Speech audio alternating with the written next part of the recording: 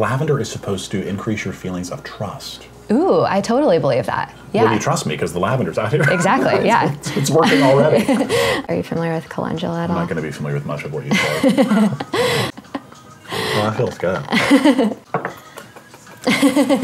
hey, it's Sean of the City. Would you like rejuvenation and healing in your life? Who's going to say no to that? Nobody would. I don't think so. Not a reasonable person. I want both healing and rejuvenation. This is Elena. She runs a business, a super small business. It's in her apartment uh, called Naptown Flo, and it is what is Naptown Flo?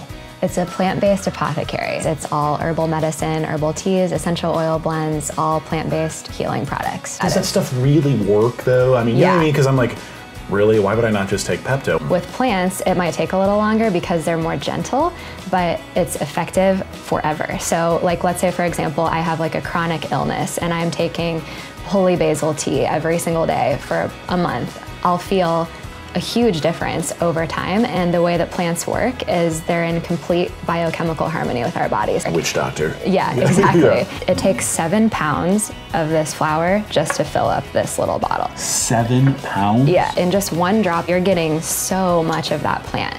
Um, so Well, that also makes sense too. So, like, is like one of the things that has stopped me from getting into essential oils, even like you know buying some of the stuff at you know looks like a supermarket or whatever, uh, is because it's so expensive. yeah, Okay, I know that I have seen, you know, when I'm like going down like the beauty care aisle or whatever, I see argan oil like shampoo and stuff, whatever. I don't know what Mhm. argan oil is. What is it? This one's a fun one to talk about. So there's this tree in Morocco. A Moroccan argan oil is the kind you want to get.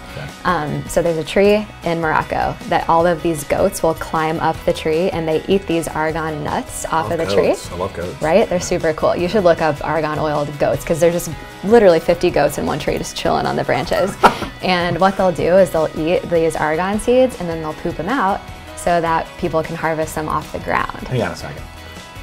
So if I'm buying like argan oil shampoo or something, it, it's it's gone It's through from goat a goat's poop, from ass, goat yeah, poop, yeah. from goat's ass. exactly. yep.